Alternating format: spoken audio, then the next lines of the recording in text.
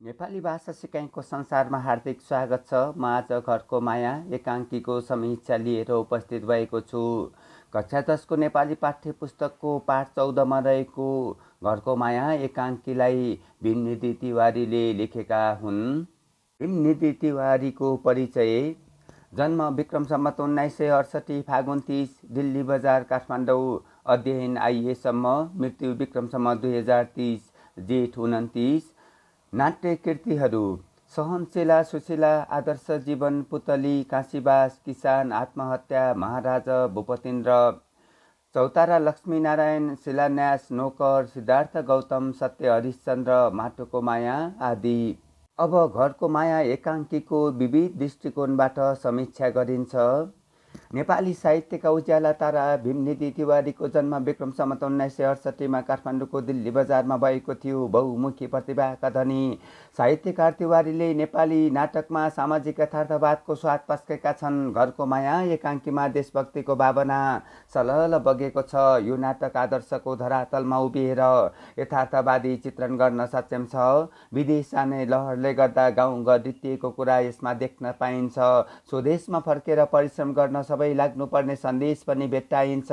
यहाँ सरल भाषामा सामान्य मानिसका लागि बुझ्ने मौलिकताको पनि स्वाद छ।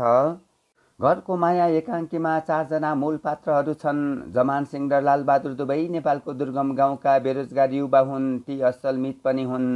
ती भारतको दरभङ्गामा कामको खोजीमा गएका छन्। जाने बित्तिकै उनीहरूले होटलमा जुठो भाँडा सफा गर्ने काम पाउँछन् पछि परिचित हुँदै जाँदा रेल स्टेसनमा कुल्लीको काम गर्न थाल्छन्। एक दिन गफको सिलसिलामा जमान सिंहले लालबहादुरलाई आफू गाउँकी बतासे नाम गरेकी केटीको प्रेममा डुबेको कुरो खुसुक्क सुनाउँछ। उनीहरू काम गर्न बसेको ठाउँमा ज्यादै गर्मी छ। जमान सिंह आफ्नै देशको खोलाको चिसो पानी सम्झन पुग्छ। यत्तिकैमा गाउँकै कान्छो नामको पात्र आउँछ। ऊ बतासे दिदीसँगै दरभङ्गा आएको हुन्छ। गाउँकै फटा पोक्चेको साथ लागेर त्यहाँ आएपछि बतासे र कान्छालाई छाडेर पोक्चे भाग्छ। बतासेसँग भएको पैसा पनि पोक्चेले लैजान्छ। त्यसकारण कान्छो र बतासेसँग खानेकुरा र पैसाको अभाव हुन्छ।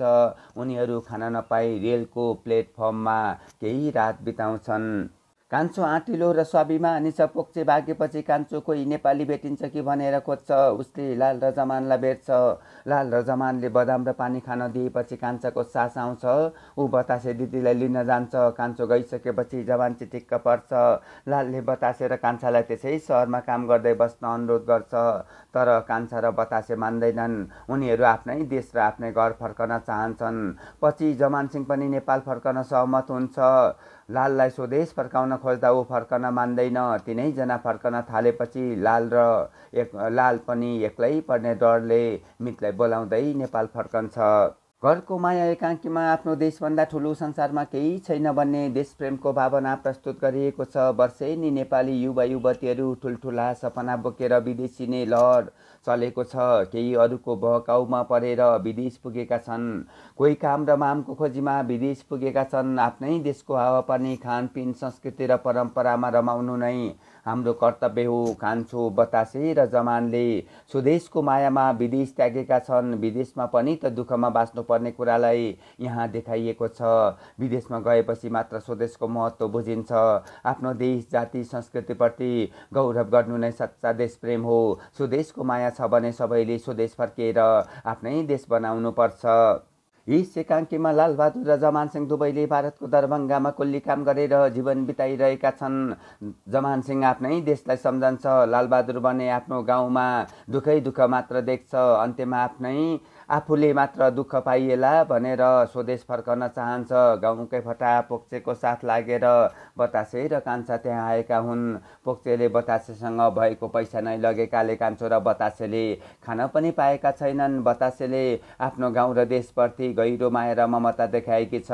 ऊ आफ्नो गाउँमा भकारोकै छेउमा गुन्द्री ओछ्याएर सुत्दा पनि नगनाउने अनुभव सुनाउँछे। ऊ आफ्नै देशको देशमा फर्कन चाहन्छे। बतासेले आफ्नो गाउँघरप्रति गहिरो माया देखाएकी छ। यहाँ दरभङ्गाको परिवेश यो विदेशको भूमि पनि हो। नेपालका जमान सिंह र लालबहादुर दुवै रेल स्टेसनमा पान खाँदै गपिँदैछन् त्यहाँको हावापानी स्वस्थ छैन। खानेकुरा पनि हितकर छैन। कान्छो र बतासे खान नपाएर त्यहीँ पुग्छन्। उनीहरूमा आफ्नै देशको याद आउँछ। विदेश भनेको विदेश नै हो भन्ने अनुभूति पलाउँछ। एकाङ्कीमा आन्तरिक तथा बाह्य द्वन्द देख्न सकिन्छ। जमान सिंहमा देशप्रेमको भावना लुकेको पाइन्छ। कान्छो र बतासे त झन् देशकै माया बोकेर बाँचेका छन्। लालबहादुर र उनीहरू विश्व देश राम्रो केही विदेश राम्रो भन्ने विषयमा सवाल जवाफ पनि भएको छ। लालबहादुर जस्ता पात्रमा पनि ढिलै भए पनि देशप्रेमको भावना पलाएको छ। यो सकारात्मक बाटो पनि हो।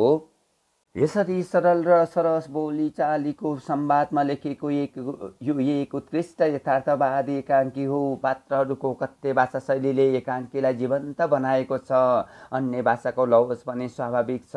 हामी देशभक्त भन्नुपर्ने आदर्शलाई यस एकाङ्कीले पस्केको छ। हामीलाई परदेशको भन्दा स्वदेशको माया बढी लाग्छ। सपनामा पनि नेपाल फर्कन नचाहने लालबहादुर अन्त्यमा स्वदेश फर्केको छ। यस एकाङ्कीमा हामी विदेशीको कमारो बन्न नहुने कुरा देखाइएको छ। हामी सबैले आफ्नो माटोलाई माया गर्नुपर्छ। यसरी घरको माया आफैमा एउटा जीवन्त एकाङ्की बनेको छ। आज हामीले घरको माया एकाङ्कीको समीक्षा प्रस्तुत गऱ्यौँ समीक्षाका फरक फरक पाटाहरूलाई केलाउने क्रममा यो अलिकति लामो भएको छ तर यसले चाहिँ विश्लेषणात्मक क्षमतामा जोड दिन्छ। जाँदा जाँदा यस च्यानललाई लाइक तथा सब्सक्राइब गर्न नभुल्नुहोला।